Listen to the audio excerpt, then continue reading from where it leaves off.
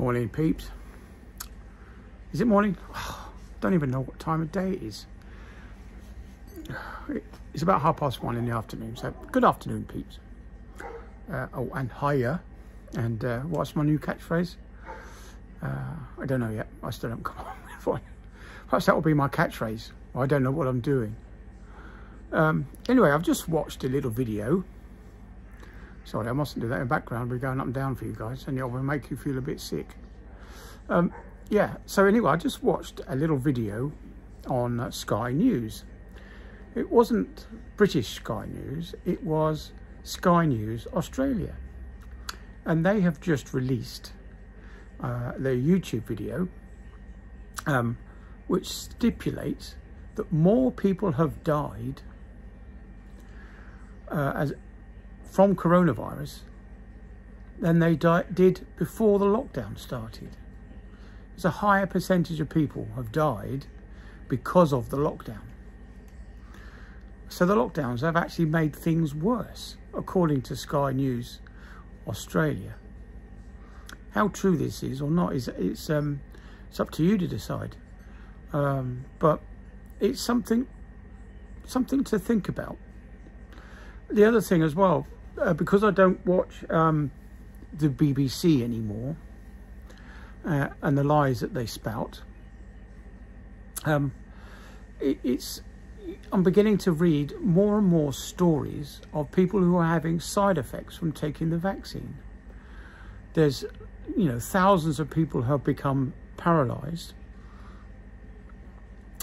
Um, there are thousands of people who are having blood clots uh, as well, as well as some other uh, condition as a result of the uh, um, you know, uh, having the vaccine. As a result of having the vaccine, they've had other side effects. This is what we were never told by the BBC. The BBC continually refrain from telling us what's happening, what's what the real truth is. Um, you know, and if, like I said before, uh, if you listen to the BBC, if you caught coronavirus, you were going to die. If you caught coronavirus, you were going to be hospitalised and you were going to be put on a ventilator.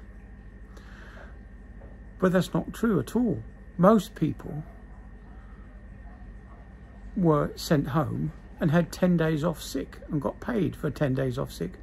That's if you were working. If you didn't work, of course, you got nothing. You know, remove hands. Um, yeah, so there you go. Oh, I've just changed. Blinking. Uh, there we go. Exposure lock. That's what happens when you touch the screen with your finger. Anyway, um, right. So it's worth thinking about, isn't it? Go and have a look at the Sky Australia, Sky News Australia's report on the resulting deaths of lockdown. And of course, that probably doesn't mention the fact that a lot of people. Sorry about that. I just had a little phone call, a scam call. Someone saying that I had been charged £399 by Amazon. I mustn't rock, Andrew. Stop rocking. I'm a bit like my dad that does annoying things like that. Um, yeah, anyway, so I'm not rocking. Uh, yep, yeah, so as I was saying, um, there are some stories coming out, horror stories, of the um, uh, reactions to this COVID vaccine. Now, um, my my personal prediction is that childbirth rates will be severely affected in in the coming nine months or so. We'll we'll, we'll start to see. So I will predict within the next year we will see side effects in childbirth. Um, I hope it doesn't, I hope my prediction doesn't come true, but it's something, something to take serious before, uh, you know, to seriously consider before you take this co coronavirus vaccine. It's, it's scary, scary stuff. Um, but like I said, it's up to you. I'm not telling you to do anything.